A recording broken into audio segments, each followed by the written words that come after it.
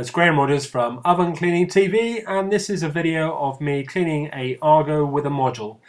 Uh, so this is at the start, you can see the, uh, the loads of scratch. I normally put that out to the customer to make sure that they're aware they're scratched before they do start the cleaning. Uh, this AGA isn't particularly dirty, you can see that the, the oven door there isn't dirty at all uh, and the others aren't that dirty. Uh, I'm showing you now the tunnels in the main oven and you can see that uh, there is some shine there but there is some carbon on the on the shiny bits. Um, so what I'm going to show you now are the self-cleaning panels, they're dirty so what I do is I decide to take them off.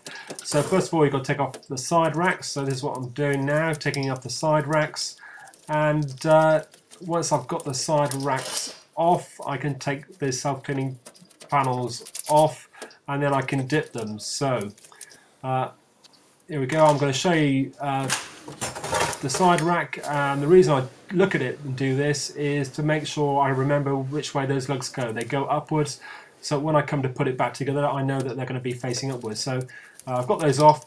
Now the self-cleaning uh, sides.